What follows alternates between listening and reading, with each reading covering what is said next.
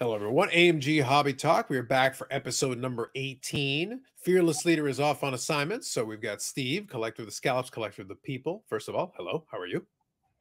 Fantastic. Excellent. And Blair is back from his previous assignment. Blair, did you find Moose and Squirrel?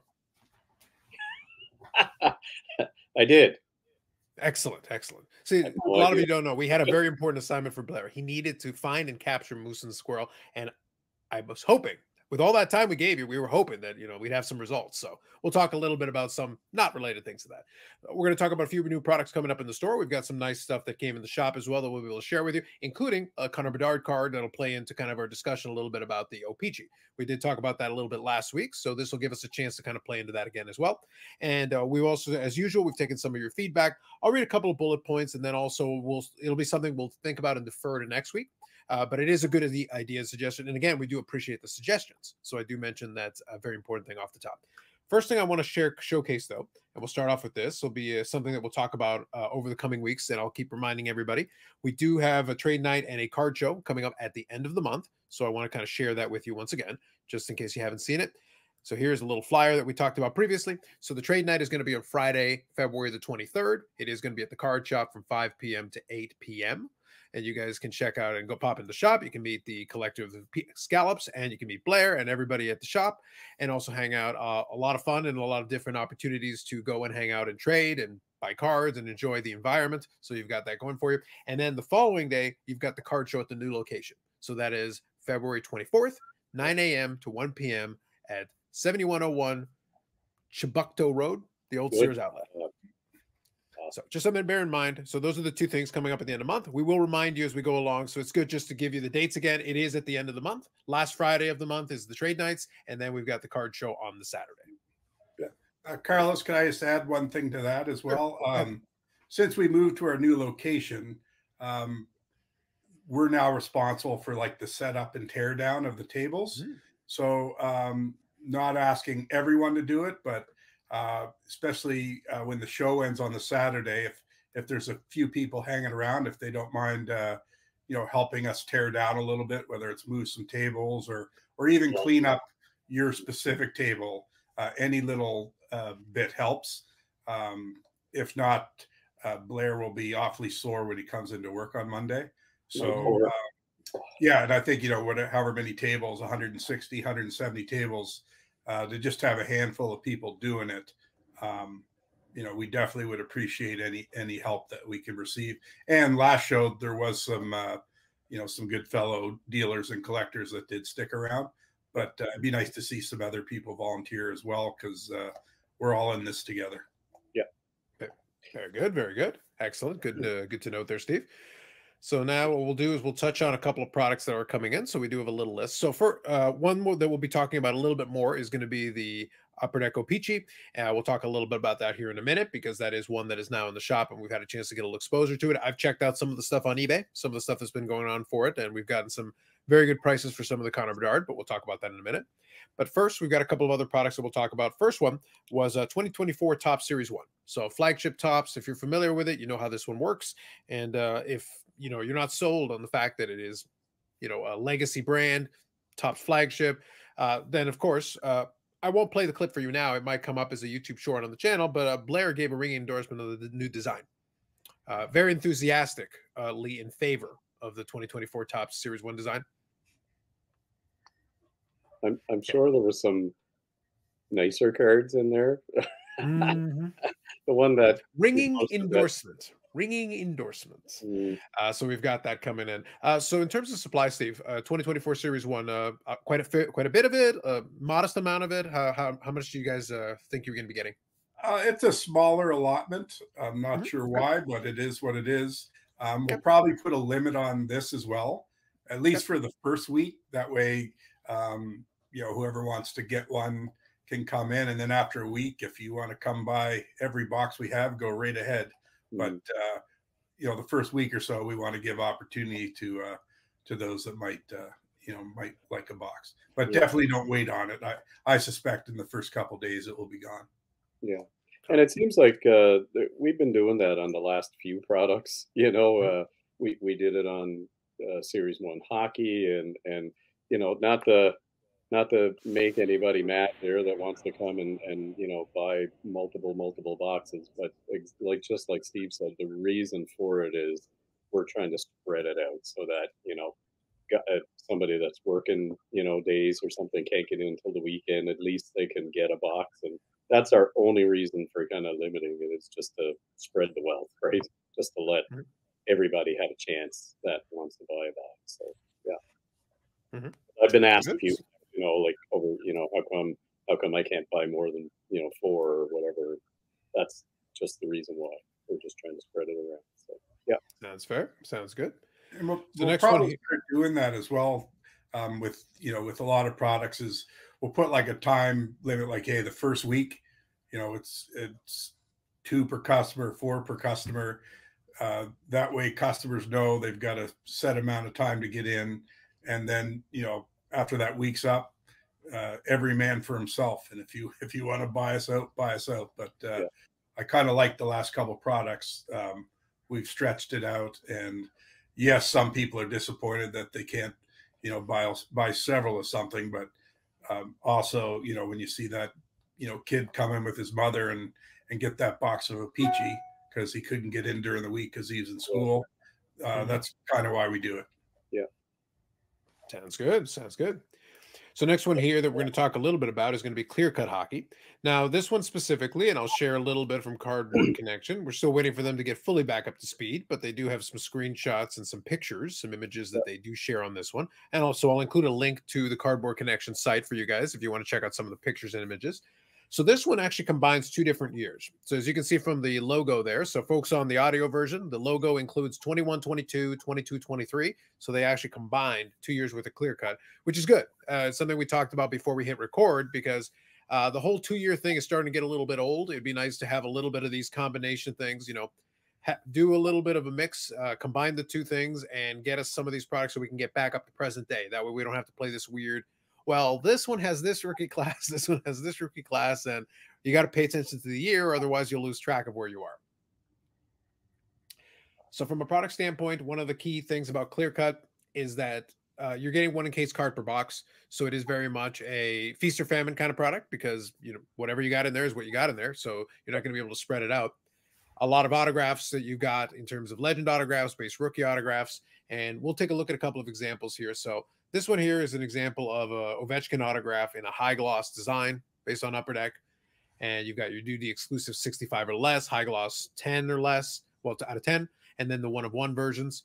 And you can see if you've seen what the Upper Deck design looks like, this is basically what it looks like, but obviously autographed and numbered. So in your base autographs, you got your base, you got your UD exclusives, as I said, it's out of 65, 35, or 15. UD high gloss is out of 10 and the one of ones. The legend autographs have tier one and tier two, which is one in 30 boxes or one in 60 boxes, depending on the tier. And the exclusives, high gloss and one of one, same. And for the rookies, it's rookie autos, one in five boxes, exclusives, high gloss, and one of one. So they kept it consistent in terms of the stylings. You do have your UD Canvas rookie debut. So on a UD Canvas card, this is a mock up, but I would say Canvas is probably going to look pretty good, especially if you do use a paint pen, kind of as they show in the example here. So this is an example of one that Steve mentioned when we before we hit record was a clear cut pride. So you've got a Wayne Gretzky pride card, and a lot of these are kind of acetate. So you do have a little bit of a see-through element on a lot of them, which can look really good with the autograph if it's placed well. And I've seen a lot of good examples of this over the years. So that's something to bear in mind. Yeah. Here we've got a retro-inspired signature uh, vintage views. So this is playing off of the SPX design, um, yeah. which can look really good on this kind of a thing. It's got the retro throwback a little bit from the late 90s to go along with the design, and then you're putting an autograph on. I think it's a good combo. Did you want to add anything to that one, Blair? Yeah, on that one, I I, I like these actually uh, with the die cuts and and um, I think the the the legends they have like it's one in 240 boxes or something. So that's that's going to be an equal. This is a product I would have back in my opening days. I would have kind of loved these products. Um, I don't know about the price point, but uh, I just love chasing the legends and and veteran guys. But um, yeah, and then coming up, I guess with the um, with the uh, the retro rookies, they're they're really kind of doing a throwback over the years kind of thing. So that's kind of neat too. I like what they're doing there. But. Mm-hmm. And in that vein, so I'll quickly do a rundown again for the audio uh, folks. I'll do a quick rundown. So for their retro rookie rundown, here's what they've got 2013 14 Ultimate Collection rookies, 14 15 Young Guns, 15 16 SPA Future Watch autograph, 16 17 Black Diamond Rookies Gems, 16 17 SPA Future Watch Auto, 19 20 the Cup base rookies, 2021 SPA Future Watch, and 2020 2021 Ultimate Collection rookies. so again, this is very much is a product that goes to the archive. It goes to the well of a lot of the background of a lot of Upper Deck products. So if you like some of these products and you like some of those designs, you will get a chance to have that included. And you also have 91, 92 Upper Deck autos. So if you got to have your, you're going to all the way throwback near to the beginning. So the second year of Upper Deck.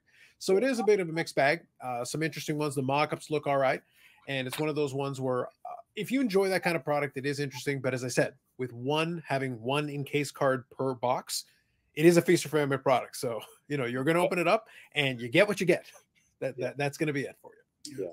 And Carlos, this this one actually we do have a good supply of it, so we will be more lenient with uh, you know the amount of product uh, customers can buy. So it's a good product for breakers and guys at Raz and things like that. Um, so yeah, definitely can come in and um, you know get an abundant supply of this product, um, especially since Upper Deck comes out in a few weeks. We just want to get it and move it, so our prices will be uh, pretty much impossible to beat. I would say on this product. Very good. Very good. So what we're going to do then is, like I said, the other product was the brand new O-Pee-Chee with the Connor Bedard cards. But before I get into that, we're going to finish up with that one because obviously that product is in the store and we have a little experience with it. So we're going to touch on that.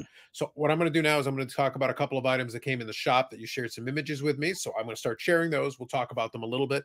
And we will include one of the Bedard as one of the cards on here. But there's a nice mix match of a couple of different things. So I think that's a, kind of a fun combo.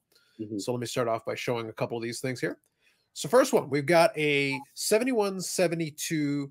We've got kind of a large version, a small version. I can see at the bottom we got five of 36 cards. So who wants to tell me exactly what it is that I'm looking at here? Uh, sure. So I, being being a vintage guy, I know how tough this card is to find. Um, you know, to the average viewer, like I said, it just looks like a smaller version. But uh, yeah. yeah, 1971 Bazooka Bubblegum uh, you know, on the box of bubblegum, they would put three of these uh, small cards on the back of a bazooka box, and they came in panels, and there was 36 of them, and they are unbelievably rare.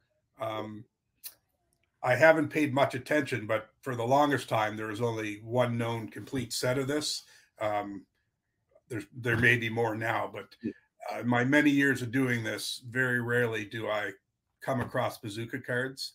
Uh, mm-hmm. So when a customer walked in with this the other day, uh, I had to I had to take a picture of it. Yeah. He actually decided to keep it, and I didn't. I couldn't blame him because he knew it was rare, but I think I got too excited, and mm. uh, he felt better about the card when he left. But uh, yeah. I love love seeing oddball uh, vintage items like this. Super tough. And yeah. Bob Orr would be the uh, you know the big card amongst the 36 cards and like I said, they came in little three card panels. So a lot of times when you find them, they've been hand cut. Absolutely. Now, one thing that I'll note: so if you are watch, if you are listening to the audio version of it, uh, you should definitely Google this one and look it up, or check out the video version because if you if you see that, you'll be able to see an example of the normal size 71, 72. The, the, the one we've got here is an Henri Richard. So you've got a normal version of 7172, and then you've got the other one right beside it. So you can see kind of the compare and contrast. And you do see a couple of the lines where the cuts are. So you can actually tell the little jag, the little lines indicating exactly where you should cut. And then at the bottom, it says number five of 36 cards. So kind of playing into what Steve was saying, it indicates it. But you know, it's a good representation of the normal size version of it, but uh, shrunk down a little bit with some of those extra features that we talked about. So a very interesting piece. So here is an example of the brand new product. We got the O-Pee-Chee, and then we got the marquee rookie. Now this one, I looks like um this one looks like it's actually a little bit of a chromium one. So I think there is a the chromium version of it. I haven't looked all the way through the checklist, but uh, this is a marquee rookie, and it is a Connor Bedard. I guess kind of a green one, a little bit of chromium. Uh, do either one of you know a little bit about this one? Is this the card Cherry sent you? Yes, that is the one. I Yeah, we just it was brought to our attention late last night. Uh, a customer, I guess, posted on our our uh, email that uh, you know it was the greatest pull of his life. Yeah. So he was he was tickled to death. Um, it's numbered out of 33. So I'm assuming that's probably a big card. I haven't checked comps or anything on yeah. it, but uh, we love well, it. I, I, can tell you the I can tell you the out of 49, uh, the out of 49 Connor Bedard went for almost 1200 US. So the out of 33 would be a little bit better. So yeah, we we love it when customers uh, pull big cards in the store yeah. and, and let us know about it.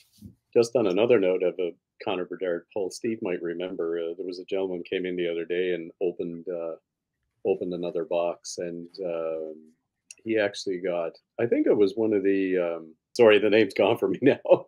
anyway, it was one of the retro um, O-Pee-Chee Premier. Sorry, O-Pee-Chee Premier Red uh, Connor Bedard, and I think that was a, a chromium one numbered uh, 75. So there's been some uh, some uh, some cool cards coming out of these things. Yeah, so I can confirm here. I just pulled it up here on Cardboard mm-hmm. Connection. So same thing. I'll include a link to to it for you so you can check out the breakdown. So this one is the rainbow foil green. So if the out of 33, it's the rainbow foil green, which is which explains a little bit of the reflectiveness with it. I, like I said, I'm not too familiar. I'm familiar with O-Pee-Chee in the abstract, but I haven't specifically dug into this one. But just looking at the list here of the All Star Marquee Rookie Parallels, you got your rainbow foil out of 350 in hobby, uh, your rainbow foil black out of 100 in hobby, your rainbow foil green, which is what we're looking at here with Connor Bedard out of 33, and then rainbow foil gold, which will be a big one. Uh, you know, we talked mm-hmm. about the whole one of one young gun. That'll be obviously a monster when it comes out. Uh, that'll be for series two, but rainbow foil gold, you know, example of this, but in gold, a one of one would still be a massive card out of mm-hmm. A relatively affordable product, all things considered. So a couple of things to bear in mind. But uh, as I said, there are a lot of different versions of the of the inserts, but then also parallels. I want to say there's over 30 different Connor Bedard potential cards that you could pull, including inserts, parallels, and a bunch of different versions that you can check out. Sp- speaking of what Blair was talking about, there is the O-Pee-Chee So what I'll do now is I'll stop sharing this one for a second. I'll come back to it, and then I'll mm-hmm. share with you from the Cardboard Connection site. So this is the O-Pee-Chee Premier that you're seeing here on the screen. So these were one and six packs, and then you've got a pattern foil board. So those are the ones numbered to 75. And this is one of the ones that was featured, Marquee Rookie. So there's a lot of them. So bottom line, I'm not going to go full breakdown on this one, but there are definitely a lot of opportunities inside of this particular set.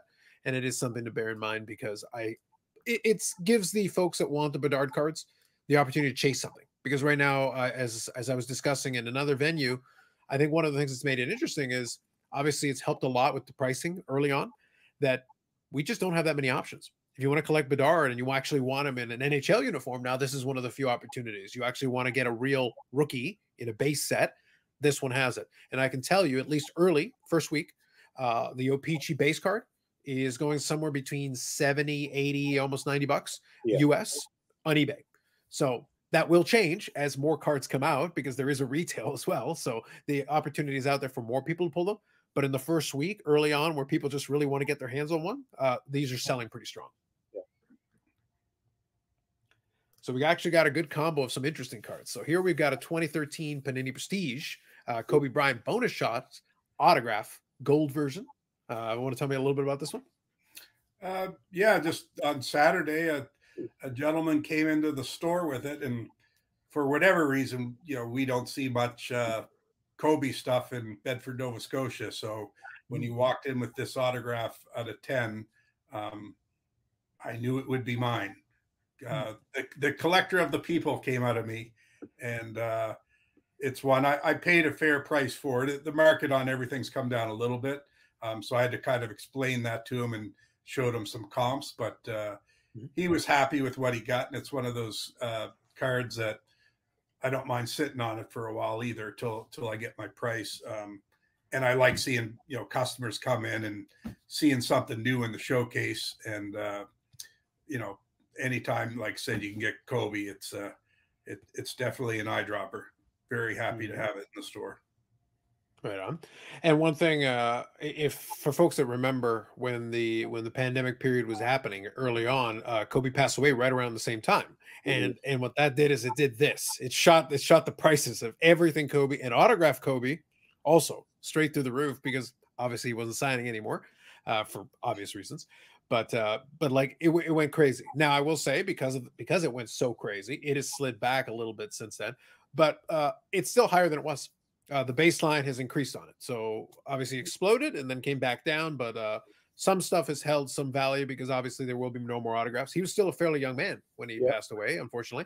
So uh, all those years potentially of him signing things, a lot of the Legends circuit and signing up products all over the place, that never got a chance to happen. So at this point, I think the folks that like it, if you can get a Kobe auto and you're into that kind of thing, then you're still going to have to pay up for it. So that's something to bear in mind. So you go. Uh, this is a Brad Hartland special here, and we got a Bowman Chrome uh, Tom Brady. I will refrain from from my commentary. Uh, please, uh, if you want to interject here. Yeah, same sort of thing. Uh, guy came in the store. Uh, he actually wanted in a res, so uh, okay. he was happy with what we paid him, considering uh, you know the res might have cost him forty bucks to join. So again, very uh, competitive uh, on the price. It's not going to be a big money maker for us. But mm-hmm. again, it's a nice card uh, to add to the store showcase. Um, and again, you know, people love looking at some of these higher dollar cards of, you know, future Hall of Famers. There you go. Seems fair. And that's in a Beckett 9.5. Uh, and you do have the subgrades on there. Uh, so 10 surface, which is pretty good for a chromium card. Uh, like I said, we'll talk. We'll maybe talk some nuances of grading later on. Uh, we'll we'll save that for a future episode. But um, anything, anytime you got a 10 surface on a chromium card, that's good because they can scratch and scuff. There are some considerations there with chromium cards. Uh, centering in this case is the one subgrade that held it back, but otherwise uh, it was strong enough to be a 9.5. So pretty yeah. solid. Yeah. So now we're going to talk a couple of cup cards. So I'm going to go a little out of order that I've shown here because there's a couple different things I want to showcase here. So first one is Signature Materials. Uh, this is a Marchessault. Really nice patch on this one. Uh, so this one's numbered to 99 on card autograph, which is great. But you got a really nice patch for the Las Vegas Golden Knights on this one. Yeah, that's super super unique patch on that one. It really uh, really uh, focuses your eye there. So yeah, and on card auto the cup, so it's mm-hmm. as it mm-hmm. should be. And I still stand by my idea. The Las Vegas would have been even further off if they had just gone with the Black Knights, because then it could have been the Monty Python skit, and it could have been "Tis Blood a Flesh Wound" is a tremendous call. It would have been fantastic with hockey. It's still my greatest disappointment in the NHL history that they did not take the obvious move. Golden Knights is fine, but I'm just saying it could have been much better. So here we got a uh, Trevor Zegras. Uh, this is kind of a, a fold out card. I, I remember this one, but I don't remember exactly what the subset is. I, it's a cool looking card, I will say. Uh, I believe it's called like rookie player, plate. Player oh, plaque. legend player pack. Oh, player oh, yeah. I say it. Yeah. yeah. So this is a rookie player plaque. Plaque. Yeah. Mm-hmm. And it's say that three times fast. Yeah. and it's numbered to 35. Um, okay. One of the downsides, I guess, of the later release of the cup you know, if this had to come out a year or so ago when it, you know, should have, this probably would have been, you know, a fifteen hundred to two thousand dollar card. Yeah. Um, now, uh, unfortunately, Trevor's not playing very well, or at least his stats aren't uh, aren't showing that. So hmm. the card's very much dropped in value, but it's one of those I haven't given up on him yet. No. So I've got it in the showcase. It's a little the price I have on it's a little high, but mm-hmm. sometimes you don't mind sitting on a card. Plus, there's a rumor that you know the Habs might be going after him. Trade. Um, yeah. I've been hearing that rumor circulate, so it might be one of those. If if that uh, happened, obviously there'd be a little more demand for his card, and uh, you know maybe he'd be happy in Montreal, and it would reflect in his play. But yeah, unfortunately, the stats aren't there for Mister Zegras this year. But it is a very nice, uh, very nice booklet. Very good, very good. Now this one here, and we'll finish up with a one of one. That'll be the last one that'll show you. But this one here, this is the Jarome Iginla. It is the parallel of the base, I believe, and it is the autograph patch version. Now you, you have to see it in the video version to really get the full impact of this because the mm-hmm. patch on this one is tremendous. So it is numbered to eight. It is number eight of eight. It does have an on-card autograph there of uh, Jarome Iginla and a really nice multicolored patch with the Calgary. It looks like it's probably part of the horse uh, so you've got a lot of the different colors going on there. Yeah. Uh, so first of all, tremendous looking card, just to start. Yeah, it's a beauty, and I like how they with the patch. It appears like the patch would be from that style of jersey, like that mm-hmm. with that particular logo. So I like how they instead of you know throwing it on the retro Calgary Flames jersey and then have a, a modern patch, like they they got it right with this card and just with the gold and stuff. Yeah, it's that was my favorite out of that lot. I think this came as the same lot, right, Steve? Yeah. Came out as yeah. My favorite card as well, and and uh, happy to report it actually went to the world's largest Iginla collector. So I, I, I, was about I was about to mention because I do follow him on Instagram. Yeah. So I saw that uh, when you sent me the picture, and then I looked on his Instagram and I saw it's like, hey, that looks familiar. I've seen that. So I'm oh, glad. Like again, I love it when a collector, um, you know, adds to their collection. So he he was thrilled to get it, and again, as soon as we saw that card, it just it just pops. Yeah. And uh, again, the you know super popular uh, player uh, in his day and still to this day. Yeah. Mm-hmm. Yep, 600 goal scorer, uh, one of the great scorers of his time. One of the great what ifs of, uh, of professional hockey. I'll quickly touch on it because uh, being a Dallas Star fan, he was actually drafted by the Stars, and he was part of the Joe Nieuwendyk trade. Now, mm-hmm. Dallas Star fans are not going to complain because Joe Nieuwendyk was the Conn Smythe winner in the yeah. Stanley Cup year, so we're not going to complain about it. But I would have loved a sliding doors situation where what if we could have gotten the Joe Nieuwendyk trade done without trading away Iginla? I would have I wouldn't have minded a couple of years of Iginla on the wing with Modano. I'm just throwing it out there. It would have been very, again, it's not like he didn't score goals in the first place, but having a good playmaker to, to, to set you up would have been it would probably would have extended Dallas's window of contention a little bit because then as Modano phases out, then here you go. You got another young guy who who was a great goal scorer already. It became one in Calgary, and it would have been interesting. Again, a great what if. It could have been it could have been an extended window of contention, Steve. I, I kind of wish we had been able to pull that one off, but I'm not going to yeah. complain. They won. They won a Stanley Cup out of it, so no complaints there. And uh, I will mention, as I said, uh, the the collector here. I'm not going to out them on this in this venue because we didn't ask, but uh, they are out on Instagram. So if you're out in the Instagram worlds of the hockey and you see this card, then you'll know who who it belongs to. And he's a great collector of a Gitmo big time. Last one here that I wanted to showcase, and this is one we talked about when we were talking about the cup some time ago. Uh, and this is where I think the show is at its best. The yeah. concept of the concept of it, the design, it needs to be autographed, and this one is certainly the case. So this is a Gerry Cheevers one of one signatures from the show. So you've got the lovely design and everything, very artistic, but then you've got your spot there with the dark edge there where you can put it on a nice paint pen and it pops right off the card. And it is the one of one as well. So that's an excellent card there in this case. Yeah, and that one's currently uh, on our eBay store. Actually, surprised we haven't gotten any offers on it, but uh, they will come. Uh, just yeah. a matter of time. People will see it. You, but, uh, big fan of Cheevers. Big fan of Cheevers when I was a kid. Uh, being a goalie, I just you know every who didn't love that mask with all the stitches oh, on it. Yeah, classic pose. Yeah, mm-hmm. love it. Yeah, so I would say a good choice, a photo selection combined with the whole aesthetic of this particular card. If you like, if you're somebody who's into card aesthetics, this one has got that component. That's why I said the show was a good idea. My yeah. only uh, my only critique of Upper Deck is don't give me the show without the autograph because that defeats the whole point. Like otherwise, it, loses a lot of its luster because it's like no, this is a proper application. If you're gonna do it, this is how you do it yeah. with the whole package. Otherwise, you just you lose out on some of it. But that's a personal opinion.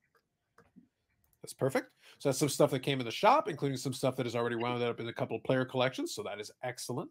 Thank you all for sharing those. So what I want to do a couple of minutes here. We're right about the time that I wanted to shoot for in this episode, but I want to take a couple of minutes here at the end if you want to share with me. Uh, we talked about the OPC. Uh, we talked about the Connor Bedard chase. The fact that you've got you got a base card, a rookie card. You've got some nice parallels that are selling for a decent amount. Even the base card is selling for a decent amount. Uh, you did initially limit quantities. How have sales been on the OPC? um, actually better than expected. Yeah, I'm glad we did the. Uh, I'm glad we did the four per customer um, mm-hmm. to start. Actually, probably could have even gone smaller than that, but uh, within 72 hours, we kind of looked at each other and we're like, we're we're running out fast. So yeah, we're actually at one per customer now, and I can say there's only four boxes left. Yeah. Um, so they'll be gone today. Uh, we do. We were able to secure a very very small mm-hmm. allotment mm-hmm. that should be coming in tomorrow with our order. But again, it you know within a day it will be gone, and those will be uh, one per customer as well. Um, mm-hmm. Yeah, we'd like to get some more, but it kind of is what it is. But I, mm-hmm. I think we might have another maybe another case coming. So uh, I think we'll keep, even though we've had to pay a little bit more to get it, I think we'll just keep it at the same price point and uh, hopefully satisfy a few more, you know, people looking to, uh, you know, buy a box. Well, I, I, haven't seen stuff flying off the shelf like that since the last AEW product. Like it's just crazy. Yeah. Boom, flying off the shelves. Flying. Exactly. Very Boom, comparable. Flying. It's basically the same. Uh, so no, that's good to hear. That's good to hear. I, I kind of, to be honest, I suspected as much. That's why I wanted to validate with with you guys, uh, because realistically, uh, the the the key selling features that I just talked about, the fact that the Bedard chase is on, the fact that the price point for the product is still attainable for most people. It's not completely out of whack with the world, and it's like it's not so far out of reach. That doesn't mean the Bedard card is going to be easy to pull. You're not going to get one per box. That's, that's not the deal because they are a little bit short printed. And it's a 600 card base set. So even for the base card, you got to, it, it takes some boxes to get it. But even still, it's at least possible. And the fact that there is the retail side of it means it's there's still a possibility for people to get their hands on it that way as well. Now, I will say uh, what I cautioned earlier. Uh, there are going to be some very strong sell prices, and we're seeing them. We're going to see some strong sell prices in the first couple of weeks.